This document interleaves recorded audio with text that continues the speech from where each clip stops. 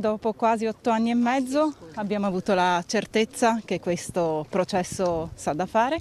Accanto alle parole dell'avvocato Alessandra Ballerini parlano i volti di Paola e Claudio, genitori di Giulio, che hanno aspettato otto anni perché la loro richiesta di verità venisse finalmente accolta. Siamo ostinatamente presenti anche oggi, si sono limitati a dire all'esterno del Tribunale di Roma, dopo un'udienza in cui sono state rigettate tutte le pregiudiziali poste dalle difese dei 4007 egiziani accusati di aver rapito, torturato e ucciso Giulio.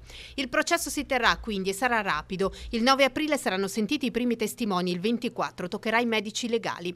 È possibile che poi si concluda con una certa celerità, quindi da parte nostra c'è soddisfazione.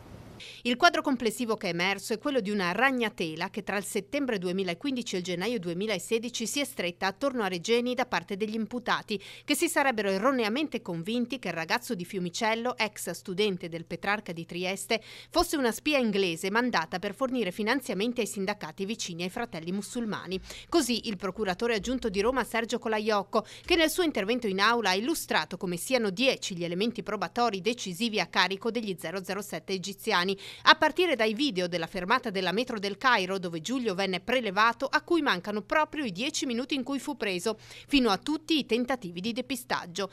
Nessun commento sulla Premier Meloni ieri in visita in Egitto. Nel nostro paese fortunatamente c'è la separazione dei poteri, non come nei regimi, ha sottolineato la legale della famiglia Regeni.